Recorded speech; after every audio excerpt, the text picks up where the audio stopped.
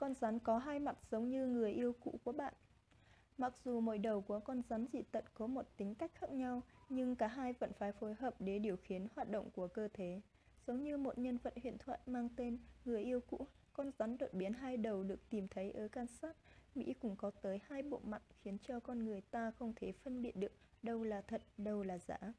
Giờ đây là một cá thể hiếm có tỷ lệ sống sót thấp ngoài thiên nhiên hoang dã nên nó đã được giữ lại nuôi.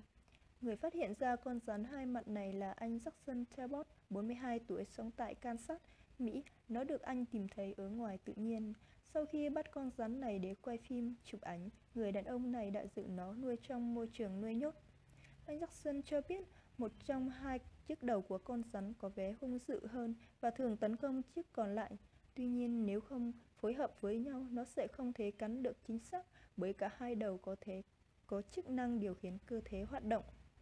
Được biết, đây là một con rắn không động bị mắc tật đột biến hai đầu, ước tính tỷ lệ mắc phái dị tật ở rắn này chỉ vào khoảng 1 trên 10 ngàn.